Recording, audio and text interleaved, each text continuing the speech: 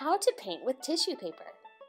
Boys and girls, today in class we are going to learn how to paint with a special kind of tissue paper called bleeding tissue.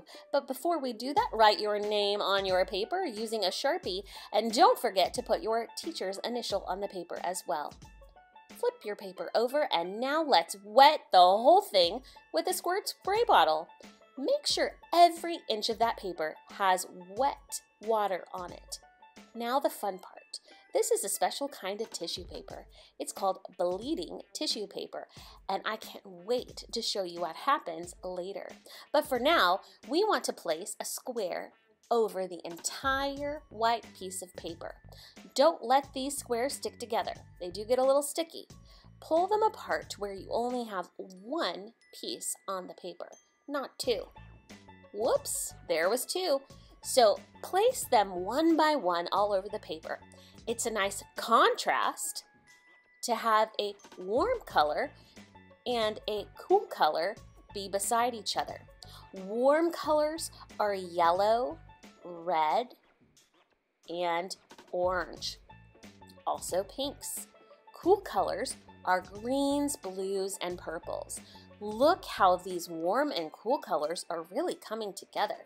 If you have lots of blues, add a little red.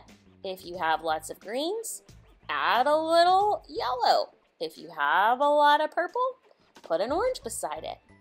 Now, once all those tissues are on the paper, get the spray bottle really close to them.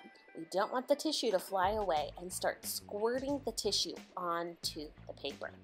Get it really wet. So do a lot of squirt, squirt, squirt, squirt, squirting onto that tissue paper you're starting to see what's going to happen. It's going to spread color onto that paper. Don't peel that tissue paper off though, it needs to dry. I still have some white space on my paper, so I'm going to come in with a smaller square. These squares have different colors than the larger squares. I'm going to add yellows and oranges and different blues in some of those white spots that are still on the paper and I'm going to squirt my paper one more time. Fill in all the white space and get to squirting.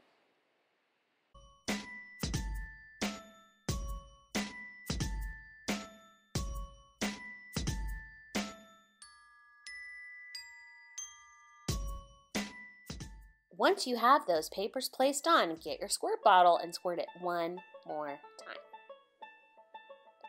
This is important.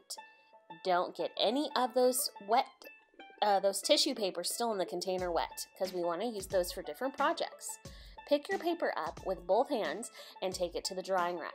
You can put it on the black rack and lift it up and put one paper on each level or place it on the white drying rack and you are done.